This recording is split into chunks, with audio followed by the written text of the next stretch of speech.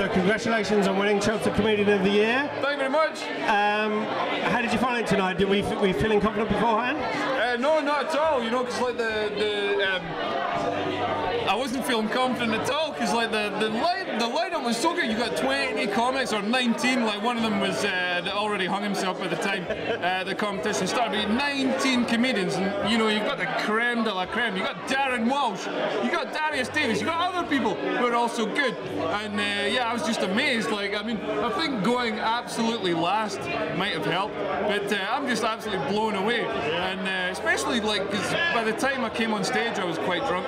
Uh, so I'm amazed I remembered any of my jokes. I think I forgot quite a lot of them, but I only had five minutes, so it didn't really matter in the end. How does it work? Do you kind of just think you do your greatest hits when you do have a five minute set? It's a bit unusual to do, isn't it? It is, you know what, it's actually harder because uh, if you're doing a 20 minute set, you know how everything goes. You're used to doing a 20 minute set, you know the flow, uh, but for a five minute set, you've got to pick out the, sort of- the gold and stick it together and also make it have some sort of cohesive narrative. Um, and then you come up on stage and all that goes out the window, you just like uh, gabbling about your testicles.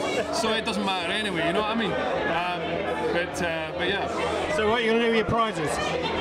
Uh, with this, I'm going to take it to work tomorrow and show them I am a, I am a, like, you know, I am a, like, this is a thing that I, like, you know, I can do, you know what I mean? Uh, with a hundred quid, uh, I don't know, I'm, I'm probably going to uh, slowly spend it on beer over the course of the next, like, week and a half. And you're coming back to Chelmsford for a gig as well as part of the prize, aren't you? Yeah, that's amazing. Yeah, I can't wait.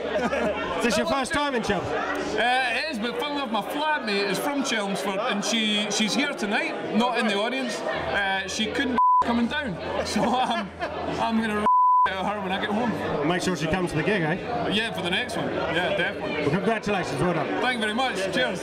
Good night, Chelmsford.